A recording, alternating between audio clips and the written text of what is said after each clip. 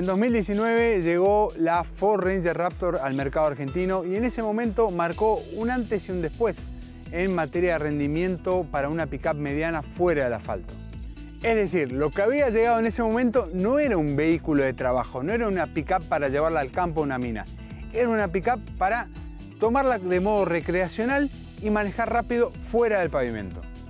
Chasis le sobraba, pero justamente lo que le faltaba a ese modelo era la potencia para ir rápido fuera del pavimento.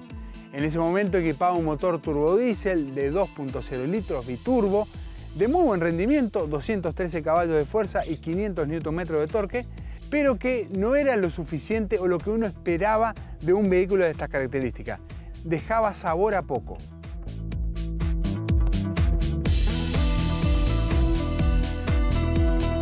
Para esta generación se ve que los muchachos de Ford Performance, la división que se encarga de desarrollar vehículos de competición y vehículos deportivos, sí, ellos hacen este bicho, eh, se quedaron con la sangre en el ojo y dijeron, bueno, pongámosle todo. Y le pusieron todo por esta generación y se ve que no querían dejar deudas atrás, porque el V6 biturbo que da 397 caballos de fuerza es prácticamente el doble de potencia que entregaba el modelo anterior. Con ese doble de potencia, ¿qué se puede hacer? Bueno, darle más vértigo. Eso es lo que da este vehículo. Da la posibilidad de acelerar y acelerar y acelerar y parece que nada te puede detener. En asfalto, por ejemplo, acelera de 0 a 100 en 6 segundos. Es como un Golf GTI. Es una locura que un bicho de casi 2 toneladas y media de peso pueda hacer esa aceleración.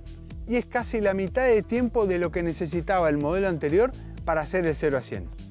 Ahora encarar una trepada, una duna, pasar por el barro, andar por la arena, lo que se te ocurra es mucho más sencillo con el nuevo motor. No tiene límites o parece no tener límites.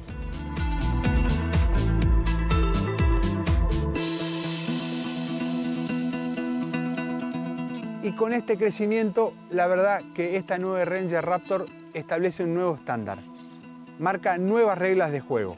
Las otras pick-up medianas que quieran tener una versión recreacional van a tener que esforzarse muchísimo y no sé si les va a dar el tiempo y la inversión para llegar a concretar lo que Ford viene trabajando hace años y termina logrando ahora en esta nueva Ford Ranger Raptor.